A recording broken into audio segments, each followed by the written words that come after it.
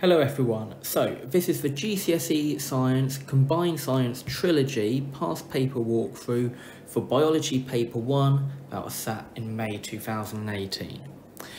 I'm going to go through this video and model how I would have tackled it. On the right hand side is a link to the blank past paper and the mark scheme, along with revision videos going through the content question by question. So, question number one then. This is about cell structures. Draw one line from each cell structure to the type of cell where the structure is found. So I've got the cell structures, the nucleus, a vacuole and a plasmid, and I've got a prokaryote, a plant cell and a eukaryote. So I should be initially thinking what are the differences about these um, types of cells, Well, I should be thinking the prokaryote is when you've got no nucleus and the eukaryotic is when you've got um, a nucleus and then the plant cells I should be thinking what additional things they have compared to normal animal cells. So I'm initially thinking well they've got a cell wall they've got a vacuole and they have chloroplasts. Those are the three extra things that plant cells have.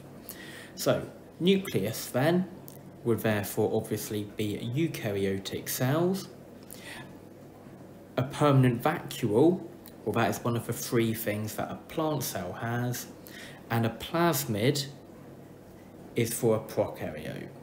So a plasmid is just a small circle of DNA that floats in the cytoplasm of a prokaryotic cell because they don't have a nucleus. Question 1.2 shows a plant cell. What are the names of structures A, B and C? So I've got this table here and I just need to tick one of the boxes. So I can initially go about thinking and just labeling them A, B and C on the diagram. So A is the big blob in the middle, so that is the vacuole, which contains cell sap. B is pointing to the tiny dots, which is the ribosomes. And then C is pointing to the outer wall, which would be the cell wall.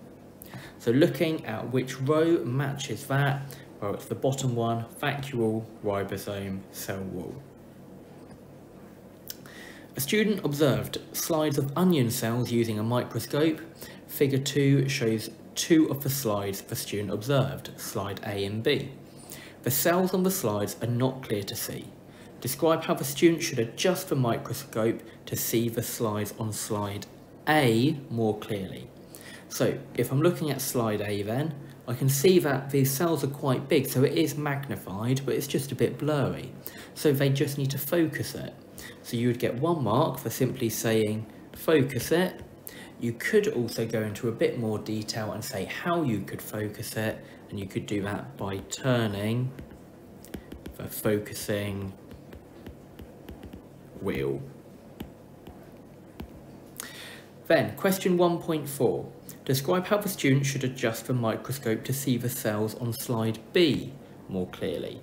Now I can see the big differences here is that it's not magnified very much. I can see loads of cells, although it's in focus on this lens, I can see loads of cells but I can't see them in detail. So effectively what I need is more magnification. So what I need to do then to get a greater magnification is use a different lens.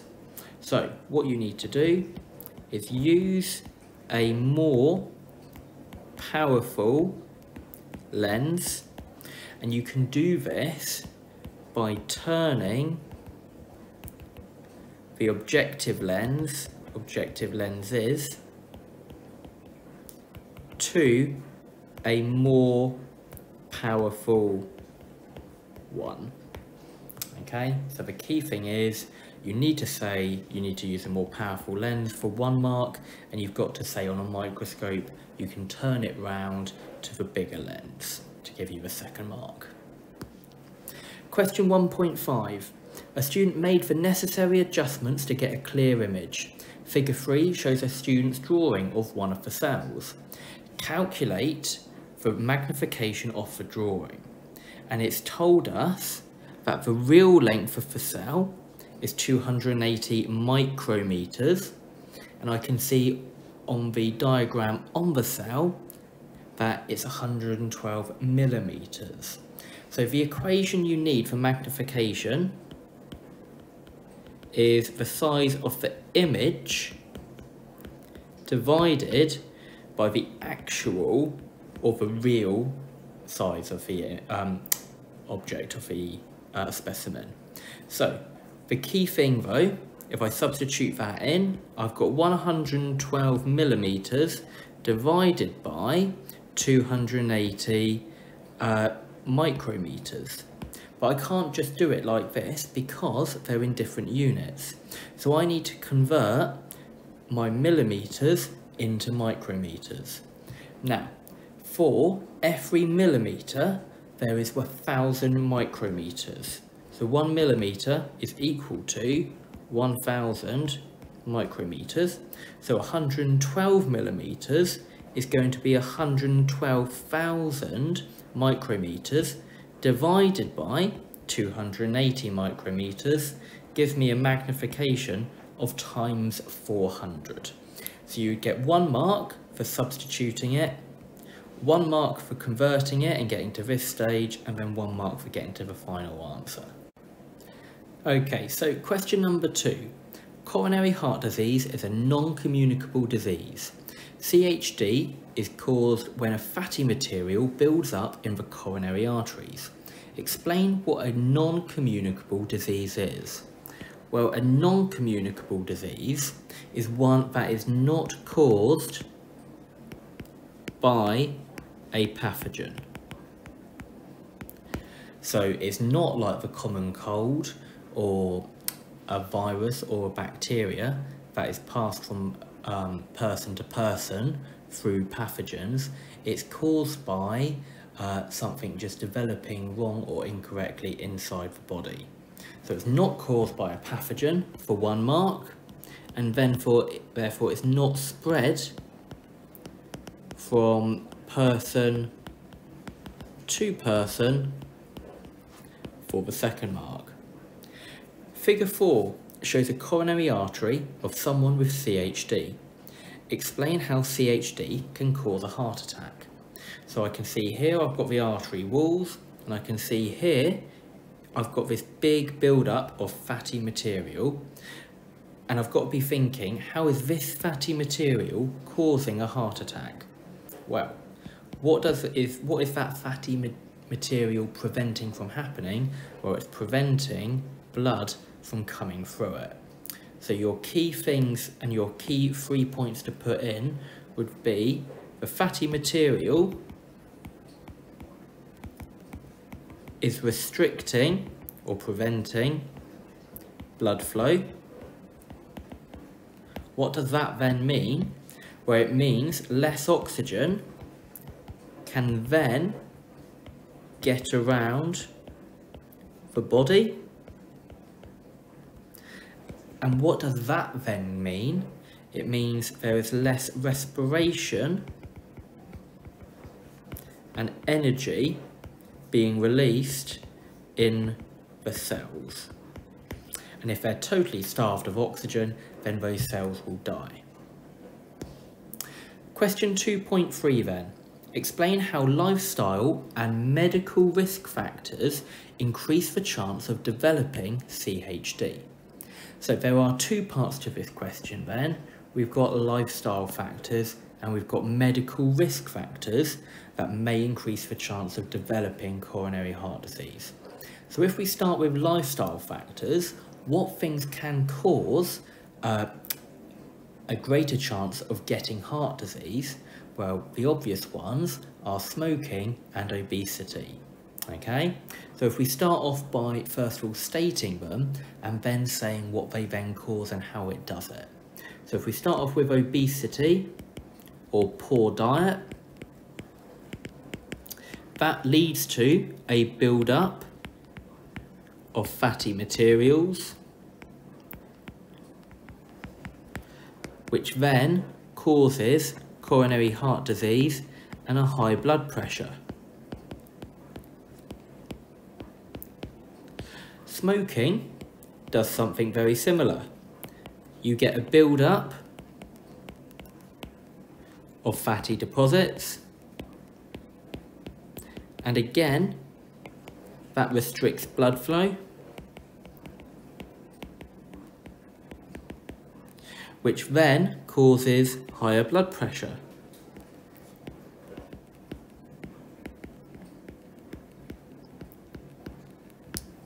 You've then got other factors, lifestyle factors, that could affect um, uh, you developing coronary heart disease, like lack of exercise, okay, and high salt intake. Now, if you have a lack of exercise, it means that your uh, body is therefore unable to dislodge or break down uh, any of that fatty deposits. Okay, so lack of exercise means you have weaker heart muscles and therefore uh, fatty deposits are not displaced and then if you have a high salt intake in your diet that can then lead to high blood pressure. So they are four examples of lifestyle factors that can increase the chance of getting coronary heart disease. You don't need all of them, um, but they are some of the key ones. Now, if I think about medical risk factors that can also increase the chance of getting coronary heart disease, the ones that I would be thinking of is if you have certain genetic factors, okay, maybe you have a family history of coronary heart disease, that can affect it. Okay, and then another one might be any medications you are on. Okay, so question number three then. This question is about photosynthesis. What is the correct balanced equation for photosynthesis? Well, I know, without even looking at the options so far, that plants need carbon dioxide. They also need water, which makes glucose C6H12O6, and they give off oxygen. So I can look and see if any of these match it. So the first one doesn't because that's reacting, that's taking in oxygen, that's not correct. The next one is again saying oxygen goes in, so it's not that. The third one gives me my uh, correct symbols, so I, let's, I'll put a star next to that just to double check it. Looking at the bottom one, again oxygen goes in, so it's not that one. So it is the third one, and the correct way of balancing this equation is all of the smaller molecules, you just put a big 6 in front of them, okay, and that then works and it is balanced. It then says, what type of reaction is photosynthesis? Well, if I'm thinking about a plant and light and energy, it's absorbing the energy for photosynthesis, so it's taking energy in, so therefore it is an endothermic reaction. Photosynthesis is endothermic, respiration, when energy is released, is an exothermic reaction. A student investigated the effect of light intensity on the rate of photosynthesis. Figure 5 showed the apparatus used.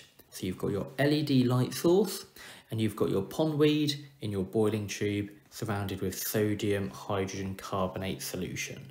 So this solution is providing the carbon dioxide that the plant needs to photosynthesize.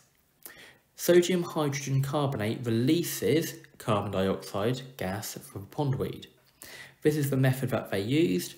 They placed the pondweed at 5 centimetre uh, distance from the light source. They measured the rate of photosynthesis by counting the number of bubbles in one minute. They repeated it at 10 and 20 centimetres from the light source. Question 3.3. Counting the number of bubbles produced in one minute is not an accurate way to measure the rate of photosynthesis. Suggest two ways the method could be improved to measure the rate of photosynthesis more accurately.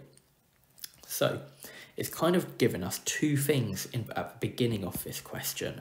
It's saying counting the number of bubbles is not accurate, okay? And it's saying one minute is not accurate. So what could we do instead of counting num the number of bubbles and what could we do differently instead of doing one minute? Well, you probably at school did an experiment somewhat like this, but a much more accurate way of doing it is getting a beaker and then getting an inverted funnel with a measuring cylinder over the top of it and your pondweed at the bottom. It will then make oxygen bubbles and it will displace the water in the measuring cylinder and the volume of oxygen you get is um, uh, can be used to measure the rate of photosynthesis. So a better way, instead of counting number of bubbles, is actually to trap and measure the volume of oxygen. So trap and measure the volume of oxygen. Now, the second way is saying about one minute. But one minute is a very short period of time. You definitely wouldn't be able, if you're doing volume, to get a significant volume of oxygen in one minute. So you could do it over a greater time period. So do it over a longer time period. Question 3.4 then. The LED light source does not get hot. Explain why it is important that the pondweed remains at a constant temperature. Well, if you think, in this practical, we are changing the light intensity. Our independent variable is light, so therefore our control variable, one of them, has to be temperature. That is why we use an LED bulb, because they don't generate heat. So, why is it important that it remains at a constant temperature? Well, for the first mark because we know temperature affects the rate of photosynthesis. Because of it, it is one of our control variables and it is a, um, it is affected by temperature because uh, photosynthesis is controlled by enzymes. Remember again, if enzymes are too cold, they go very slowly. If they're warmer, uh, they then work at their optim best at their optimum temperature. If they get too hot, they would then denature. Question 3.5. Light intensity can be calculated using the inverse square rule, law which is light intensity is inversely proportional to 1 over d squared, where I is light intensity, d is the distance uh, of the pondweed from the light source. The student placed the pondweed at 5, 10 and 20 centimetres from the light source. Explain how light intensity changes as the distance of the pondweed from the light source is doubled emphasis on that word doubled. You must include calculations in your answer. So what this is effectively saying is, as I move my lamp back and the distance is getting bigger, how actually does that affect the light intensity? So it's then saying about it being doubled. So out of these two numbers, I'm just going to use two that double. I'm going to compare 5 and 10.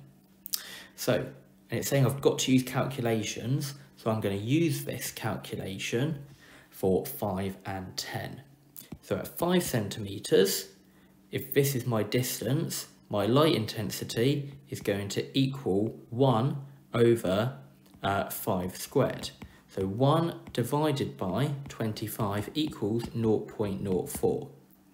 Then 10 centimetres is going to be 1, the light intensity is going to be 1 over 10 squared, which is 1 over 100, which gives me uh, a value of light intensity of 0.01.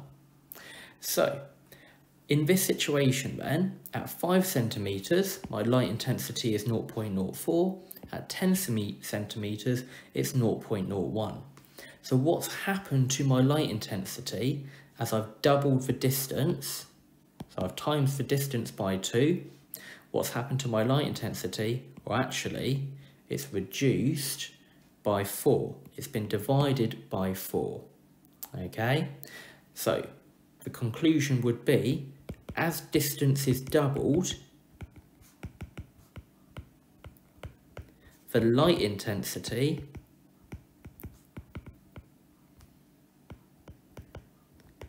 is quartered. Or you could just say it is divided by 4. Question 3.6. The students' results are shown in Table 1. You've got the distance from the pondweed uh, in centimetres at 5, 10 and 20 and you've got the number of bubbles produced in one minute. 129, 30 and 8. Predict how many bubbles of gas would be produced in one minute if it was 40 centimetres from the light bulb.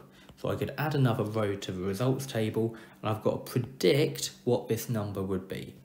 So if we have kind of have a look at what the pattern is following before, so you've got 129 going down to 31 and 31 going to 8. So what's happening with these numbers? Well, we've just seen the light intensity is quartered and that's the same thing happening here. 31 goes into 129 roughly four times, 8 goes into 31 roughly approximately four times. So what number would go into 8 four times? Well, it would be 2. So I would say my prediction is 2. Okay, it is much lower because low light intensity gives a low rate of photosynthesis. Now I could also say it is one quarter of the previous reading. Okay, question 3.7 then.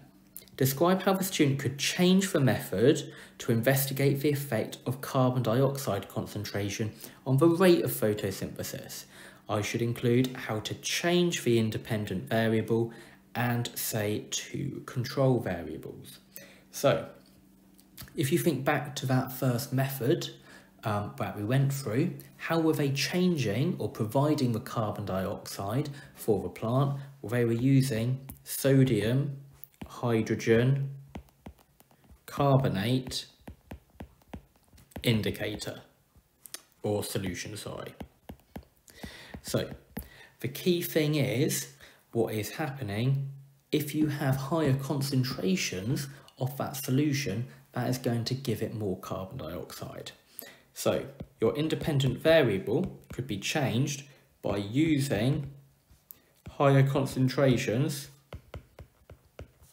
of sodium hydrogen carbonate. So that is one way we could change the amount of carbon dioxide. If I'm now thinking about my control variables, what needs to be kept the same? Well, now if I'm changing the carbon dioxide, I need to be keeping my light intensity the same. So I could keep my lamp the same distance, so this time I won't be moving my lamp, it will just be kept the same distance each time. And again, I need to make sure, this is one control variable that would be constant between them, is temperature. And in order to do that, I would again use an LED light source.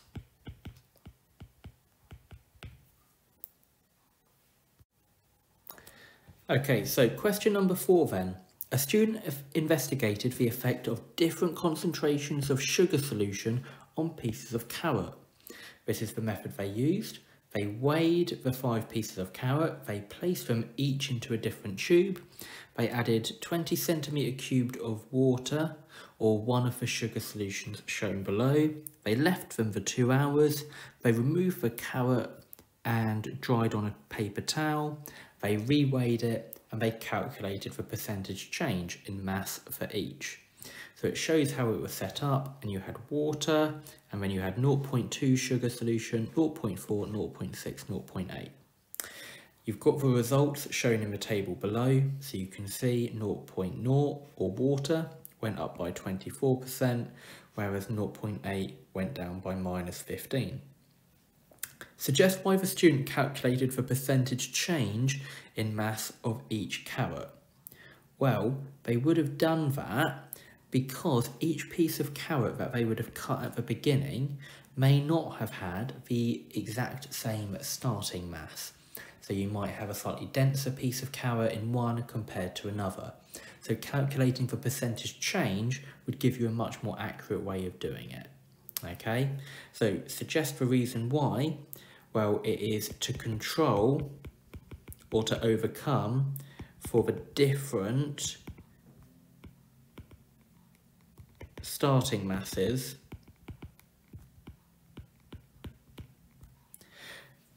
uh, of, of different pieces of carrot.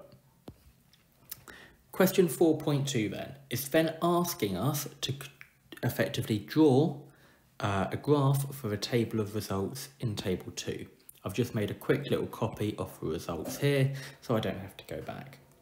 And then I've got choose a suitable scale and label the y-axis, plot the results, draw a line of best fit. Okay, so it's already given me the x-axes, which are going up in 0.2, 0.4, 0.6, 0.8, and I then need to do the percentage change.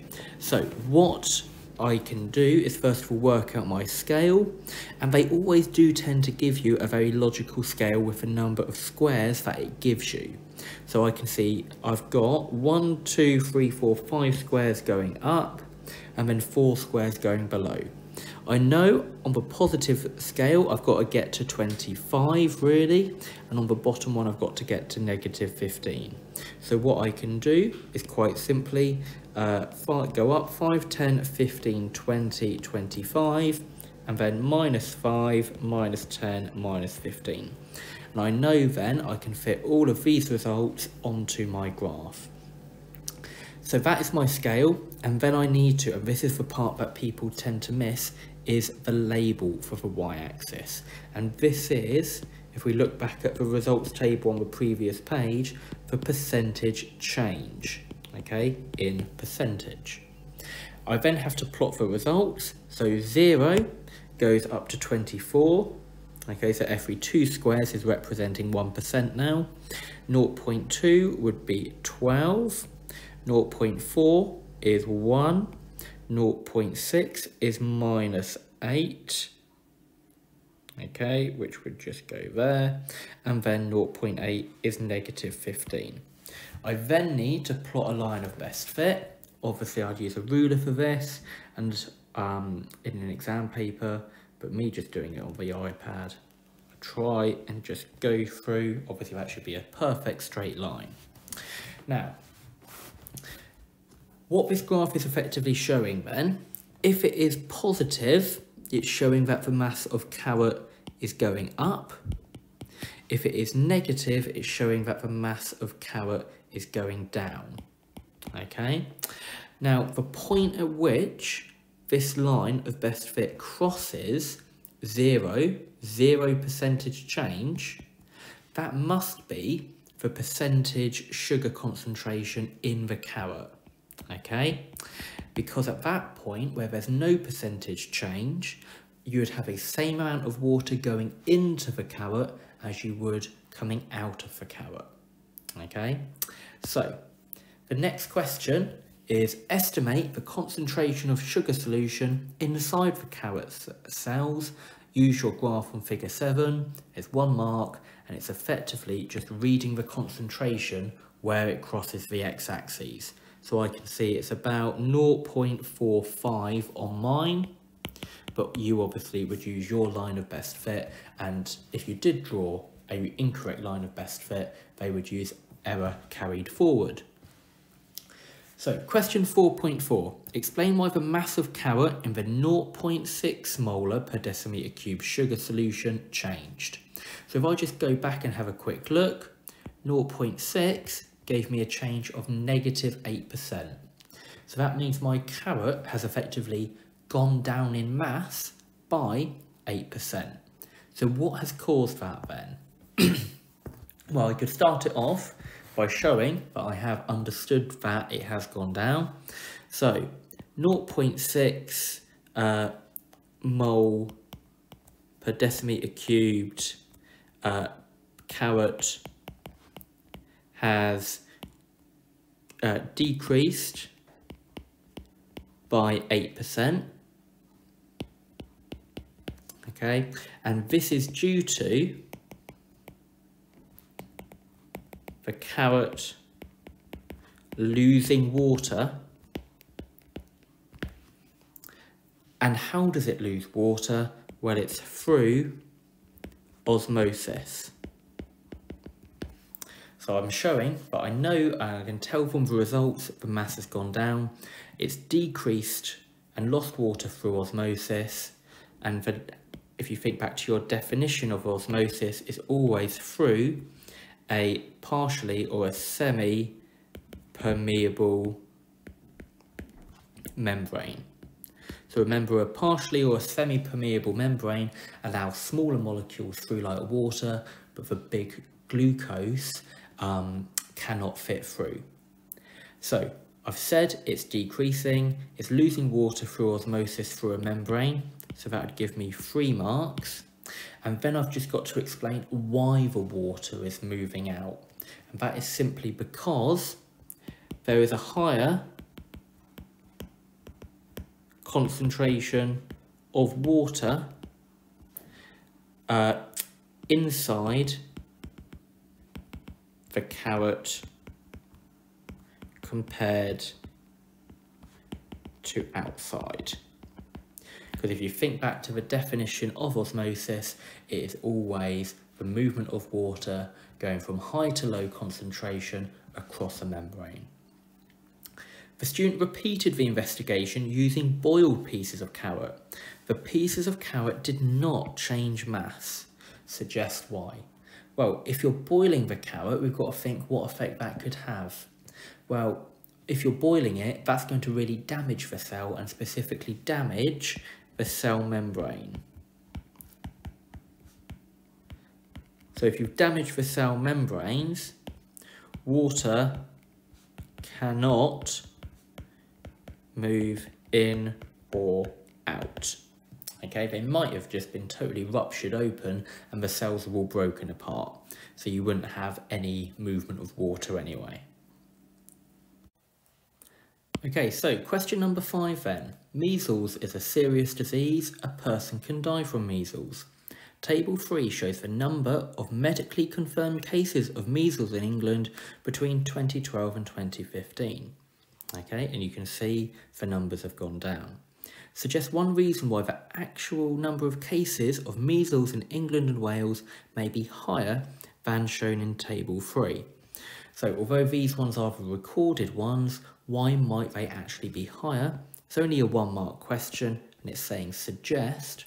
Well, it may just simply be not every case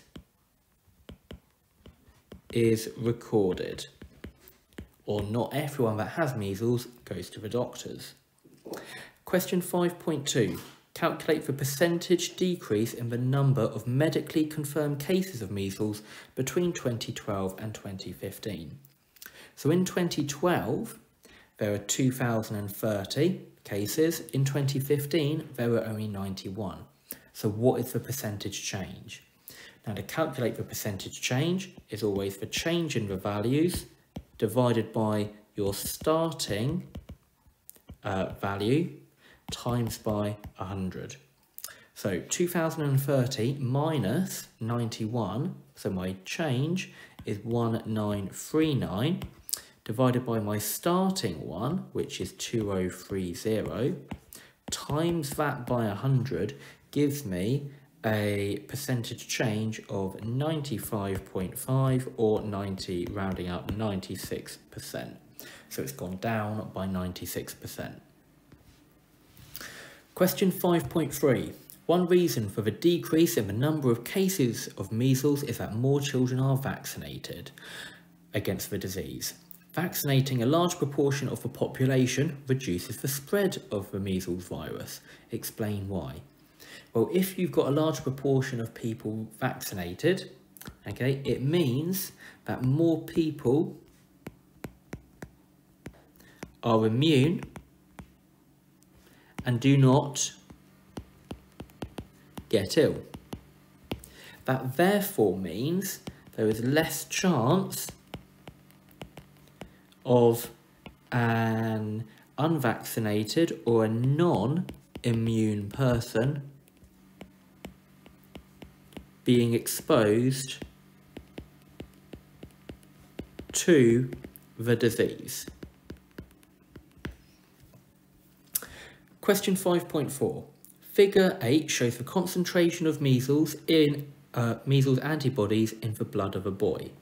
So you've got the amount of measles going uh, antibodies in the blood on the left hand side going up and you've got two different peaks. You've got the vaccine when it was first injected and the amount of antibodies that went up and then decreased and then you've got an exposure to measles, the actual virus, a couple of weeks later.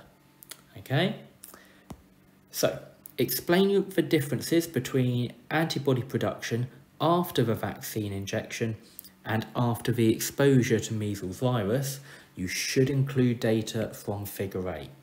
So we're effectively saying, how, do, how is the immune response different with the vaccination and exposure after you've been vaccinated?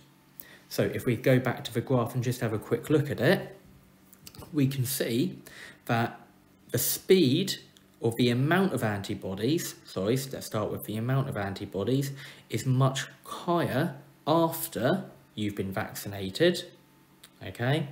And also the speed at which uh, the antibodies are made is much quicker. You can see it's more of a gentle incline after a vaccination, but it's a very steep incline after the vaccination. So your two key differences that you then need to explain is the speed of the response and then the amount of antibodies. We know we have to include some data from this. So first of all, let's just pick off some data. I know from reading the graph that the peak amount of antibodies after being vaccinated is 0.8, whereas after being exposed, the peak antibodies is 7.2. Okay, so I've now got some data which I can use and justify in my answer. So, starting it off then, I could say the amount of antibodies are much higher after vaccination. And then I could quote those numbers. So it's 0.8 after vaccine 7.2 after reinfection okay and then I can also say the speed of the response is much quicker after vaccination. Okay, so if we can now explain why, okay, so this just through these would get us three marks already because we've said the differences between them and we've quoted data. So why do you get a much quicker and a much more effective response It's because after you've been vaccinated, you have memory cells which remember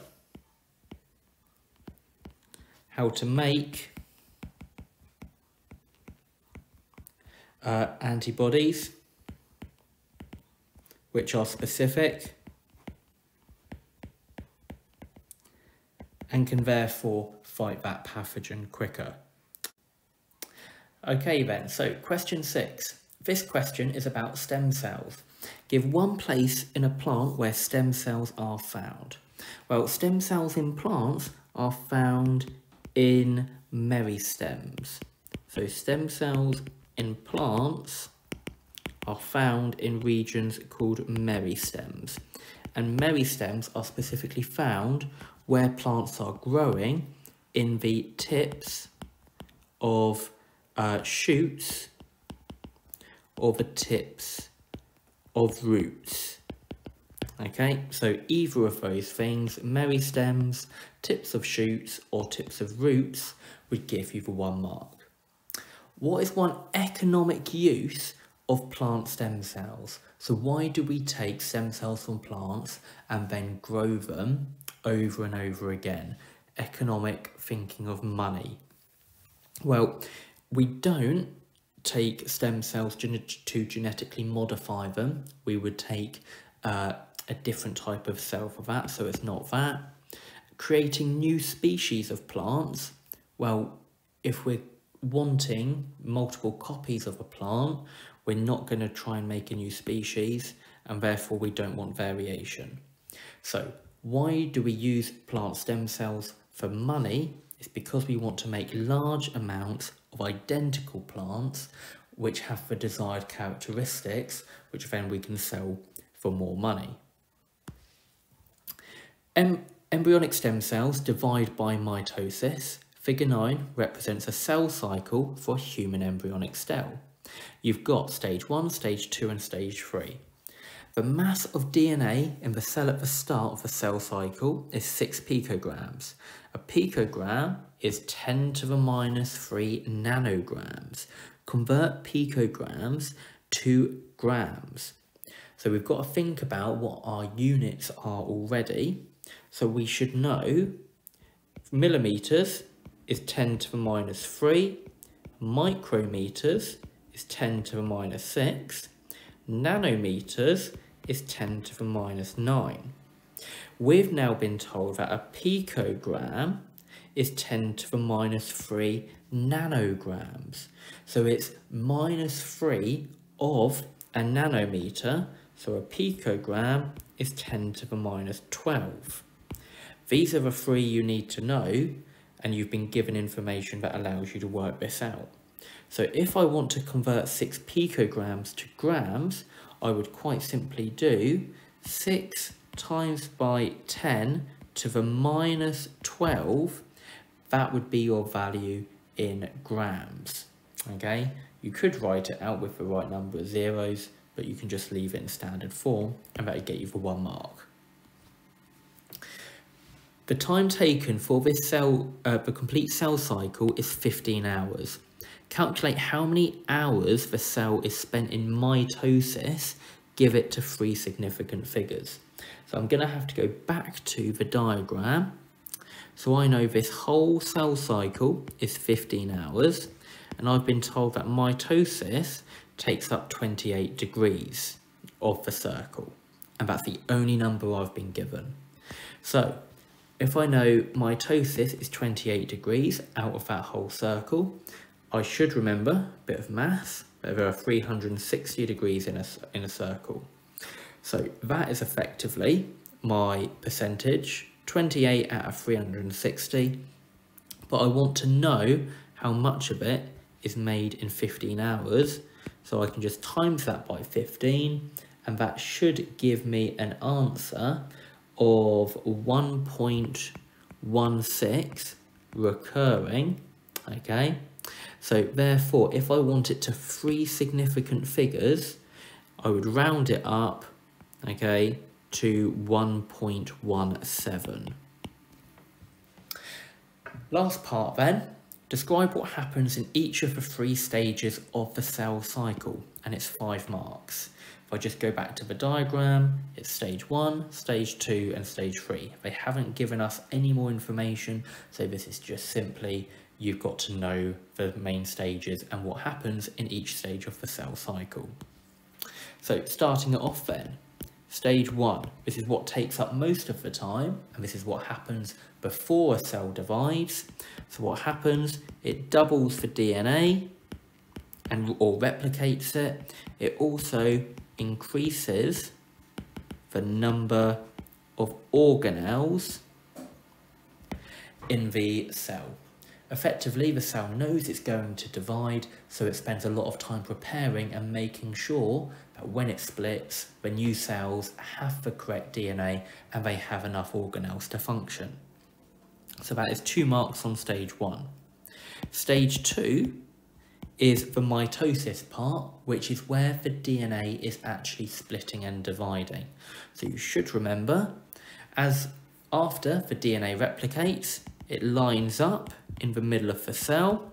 It's then pulled apart to the different sides of the, of the nucleus.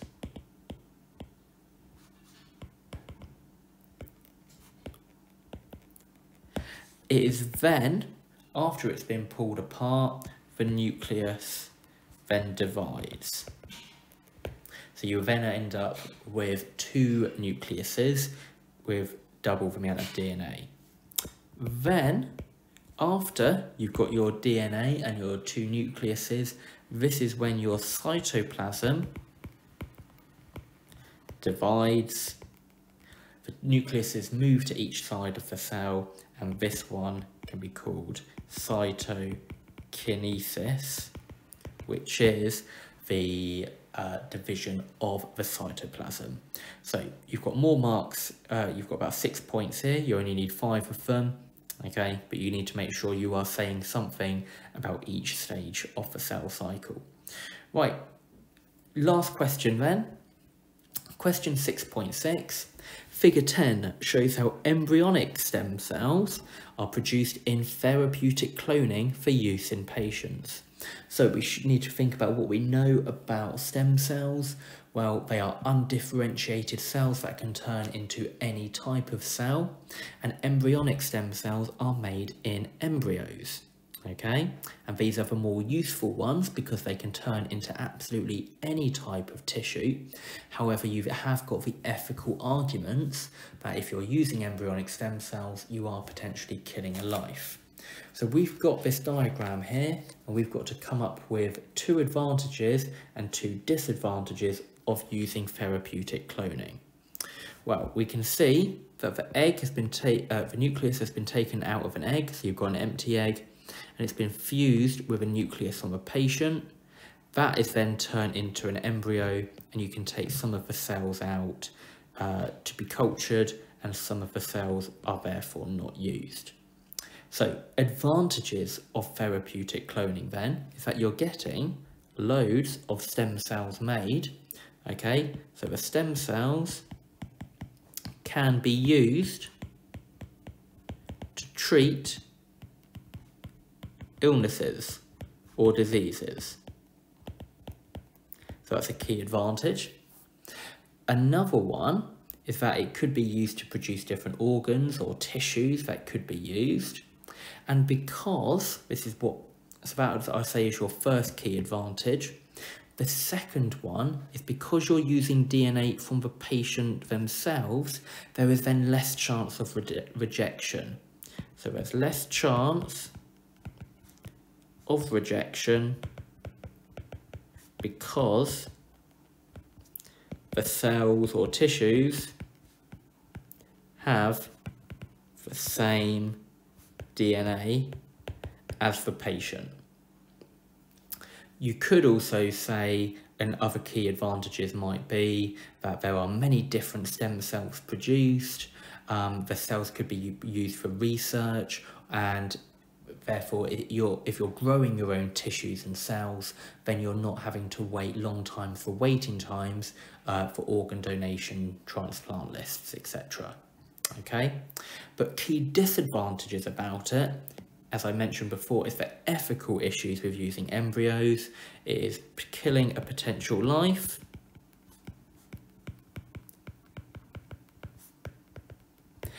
is it right to destroy an embryo when it will eventually um, potentially turn into a person? And the other key issue, which I think is quite key, is that you've got to have donated egg cells. Okay, so there's a lack of donated eggs for this process.